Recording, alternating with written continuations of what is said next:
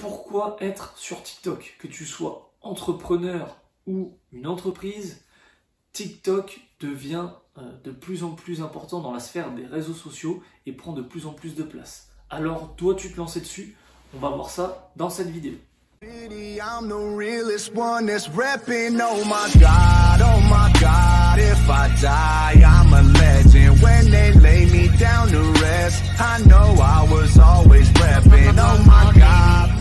Salut YouTube, moi c'est Arnaud, donc d'Arnaud Digital, étudiant euh, en e-business, mais également freelance en marketing digital. Donc dans cette vidéo, on va parler de TikTok, comme tu l'as compris, et euh, je vais t'expliquer selon moi euh, pourquoi il faut être dessus, quelles sont les raisons qui font que tu devrais te mettre dessus. Donc bien sûr, si, si ces critères, on va dire, ne t'intéressent pas, eh ben, tu n'as pas forcément de raison de te mettre dessus. En revanche, si les critères sont euh, des choses qui t'intéressent, en tout cas ceux que je te donne, bah, je pense que tu devras te poser la question euh, d'être sur TikTok ou non. Donc, on va commencer la vidéo par la première caractéristique, c'est-à-dire un public assez jeune. Et donc là, euh, si toi ton but c'est d'avoir des achats, etc., c'est peut-être pas la cible qu'il te faut. Mais euh, je tiens à préciser que ta cible, elle est jeune pour l'instant. Ça veut dire que, on va dire, la personne moyenne sur TikTok, elle a entre 15 et 18 ans. Admettons. 15 euh, à 18 ans, ça c'est pour l'instant. Et dans 2-3 ans, celui qui a 18 ans, il en a 21. Il commence à avoir du pouvoir d'achat.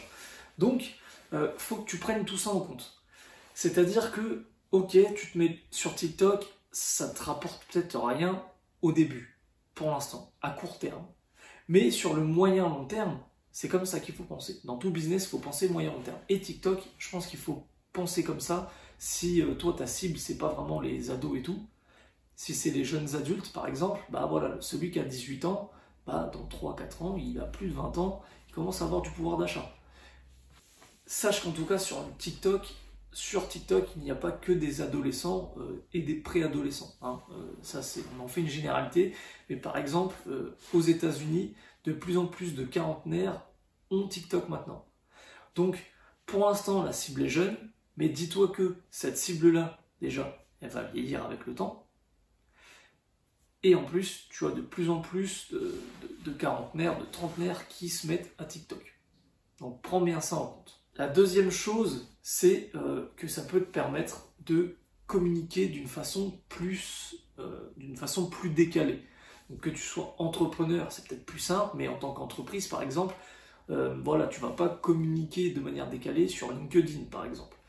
Donc TikTok, c'est un moyen de faire découvrir ton entreprise sous un nouvel angle, sous une nouvelle communication, un aspect plus sympathique, un aspect plus joyeux, un aspect plus festif, donc voilà, après je ne peux pas te dire euh, comment faire, euh, ça dépend de chaque, entreprise, mais voilà, il faut que tu adaptes ta communication, et en tout cas c'est un bon moyen pour euh, avoir une, communication originale, donc plus originale que tes concurrents qui ne l'ont pas encore, et bah, plus originale par rapport à tes autres réseaux sociaux, plus décalé.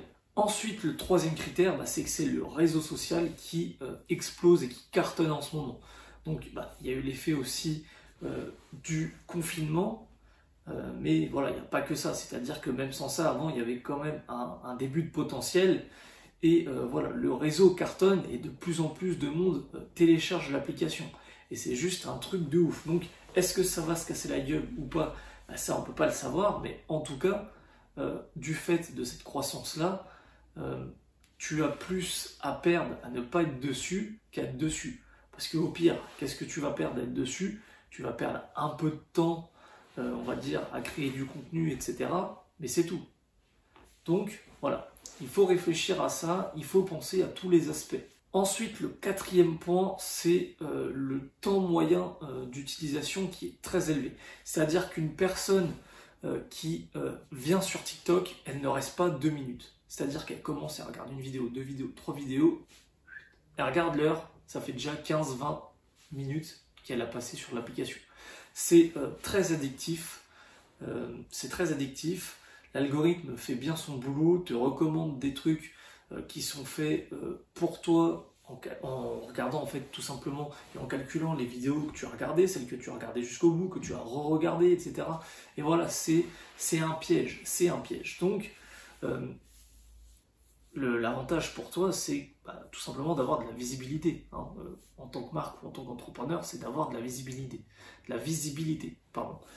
Donc, même si toute ton audience n'est pas bonne à prendre, on va dire, ou à convertir en tant que client, peu importe, ça t'apporte quand même euh, un minimum de personnes qualifiées. Et c'est ça qu'il faut retenir. Même si tu as 50, 100 000, 150 000 abonnés, mais retiens que tu en as quand même une partie que tu, qui sont vraiment intéressés euh, par ce que tu fais et pas par la, euh, par la création originale que tu, par la communication pardon, originale que tu fais, et donc bah, tu vas pouvoir les rediriger vers tes offres, vers tes autres réseaux sociaux.